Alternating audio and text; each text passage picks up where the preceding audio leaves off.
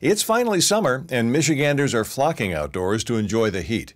But all of that exposure to the sun can lead to serious health issues if you don't take some precautions.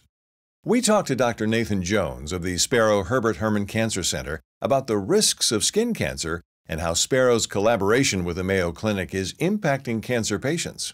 So we definitely have a very close relationship with the Mayo Clinic, and we really enjoy working with the cancer experts up there. We have almost every day tumor boards where experts, cancer experts from the Herbert Herman Cancer Center and cancer experts from the Mayo Clinic will have video conferences together, and we'll discuss different cases, both cases from down here and cases from up there, uh, and, and different ways to treat them, so we can put our heads together and really come up with the best best management for our patients. Even one sunburn every two years uh, will triple your risk of melanoma, which is a deadly kind of skin cancer. So uh, the more sunburns and the more severe the sunburns, you do have an increased risk of these cancers. When we're talking specifically about melanoma, they have the A, B, C, D, E's of, of melanoma to help to sort out what might be a suspicious looking lesion. Um, the A is for asymmetry, where side to side it doesn't look the same.